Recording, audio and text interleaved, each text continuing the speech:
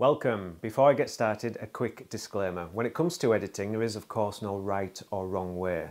My way of working might not be for you, but it has certainly served me well over several years. The first step is always the same. And over the years, it's not only kept the process simple, but I like to think has given me a consistency in style. Hopefully my thoughts are of some benefit to you, so let's take a closer look.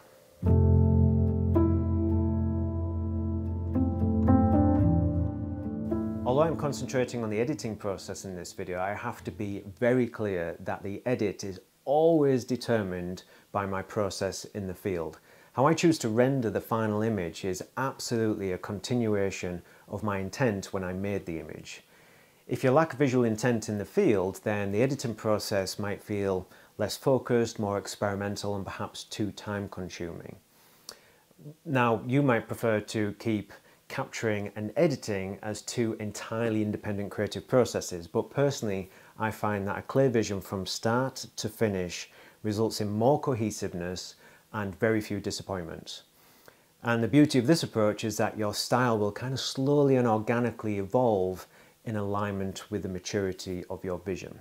So here's the final image that we're going to edit. It's titled Winter Sketch and I made it during Storm Eunice in Scotland.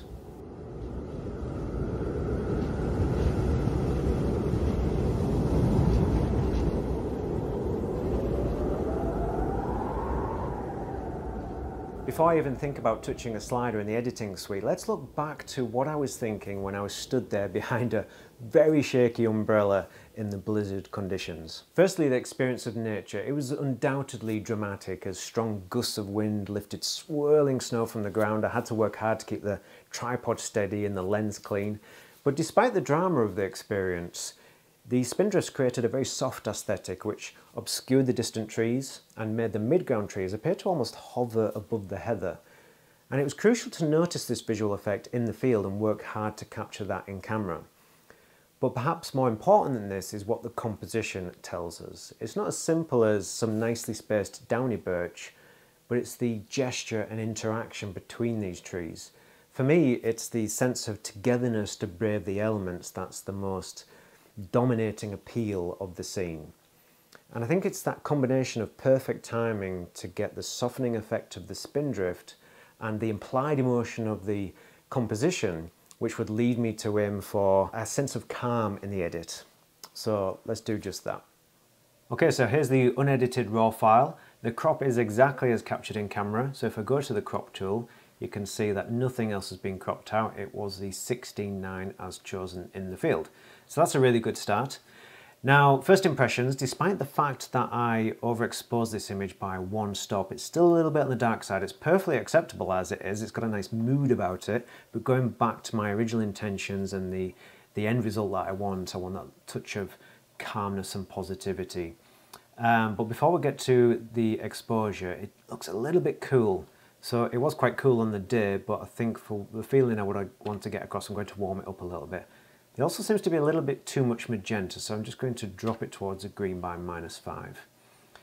Now the exposure, let's go keep knocking up by intervals of 10 plus 40. That's looking pretty good. I'm not looking for pure white. It wasn't pure white in person, and I want to be quite respectful to reality.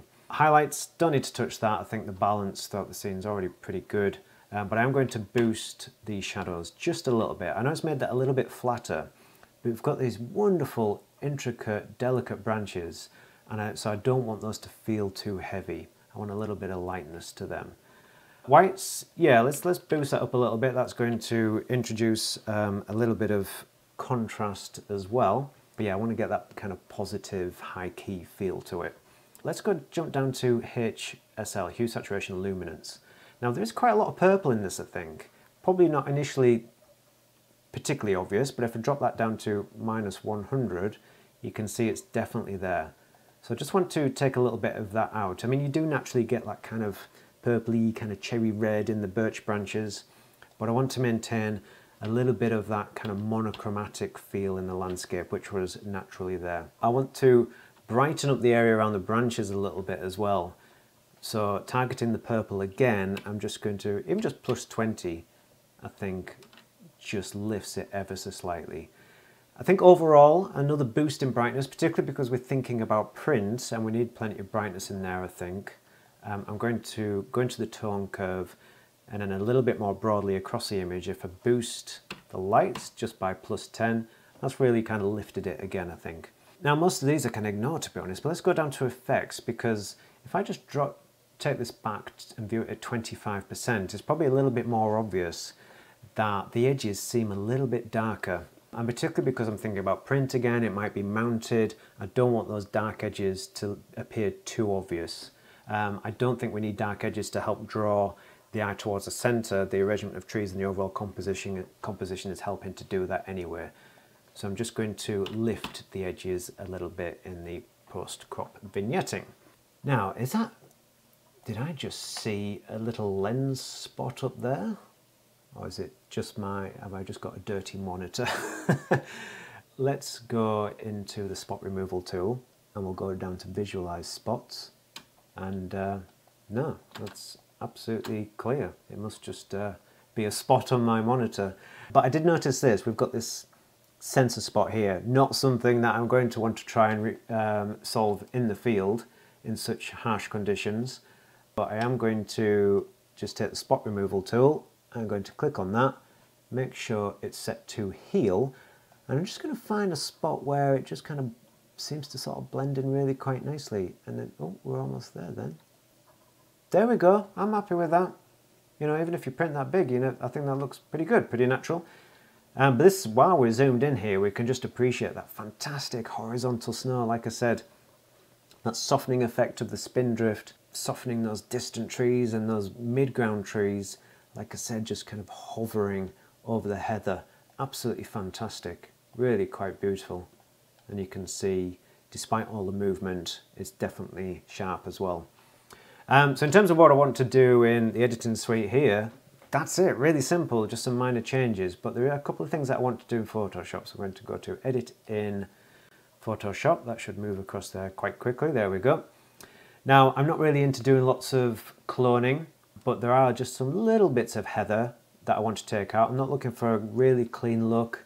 I just don't think that's worth the, the time and hassle. So I'm going to take this tool here and let's just zoom in a little bit and just these little, just these little bits on the edges, that's all. I'm just going to tidy those up a bit, just draw around them. Because of all the snow, they're very easy to remove. I'm just going to draw around like that. And once it's finished, I'm going to hit delete, make sure the contents is set to content aware, okay, and there it goes. You know, a bit crude, a bit messy, but it works. And I'm actually going to be a bit cheeky and take this larger clump out here. I'm not going to remove the one next to it because I think it maintains a little bit of balance with all the heather that's exposed on this side but I might just take this big clump out here sorry but there you go we do want a little bit of cleanness in this instance. And just that one just off the edge there. There we go. Simple as that. I'm not going to feel too too guilty about it.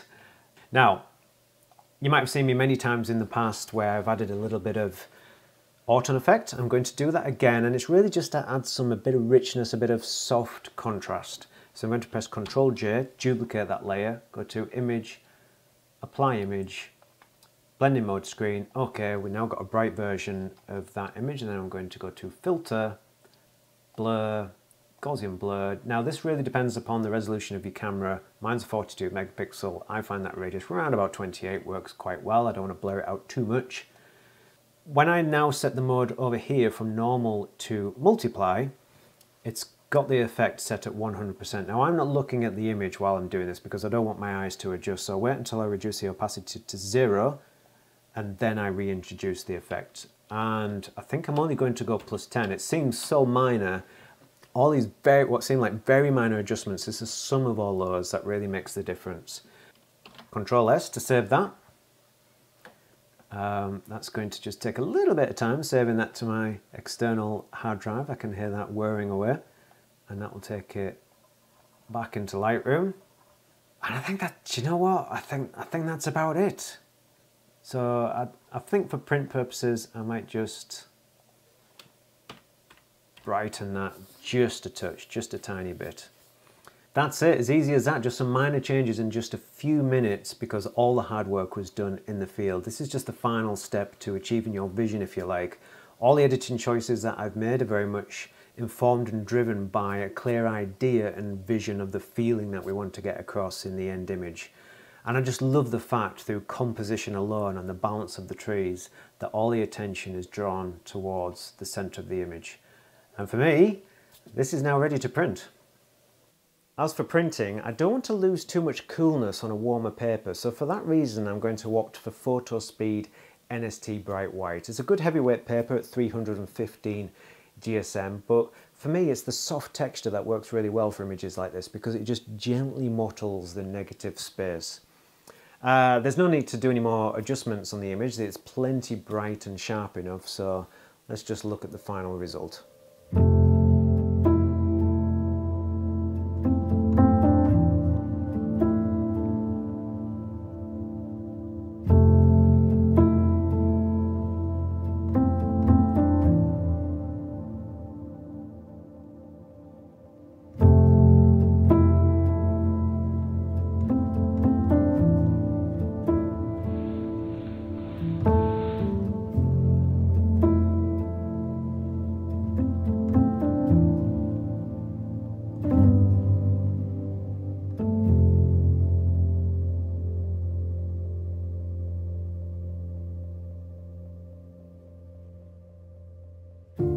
That's it for this episode. If you like the look of the print winter sketch, then please take a look at my website because there is an introductory offer to save more than 20% on that print, as well as another one which I made on the same day. Now that offer ends on Monday the 2nd of May, so there is very little time left to take advantage of that. Uh, while you're there, please take a look at my book Gathering Time, and also tickets are now available for the different events at this summer's exhibition with Joe Cornish and I. Um, so yeah, please take a look. We'd love to see you there. But for now, thanks again, and I look forward to seeing you again very soon.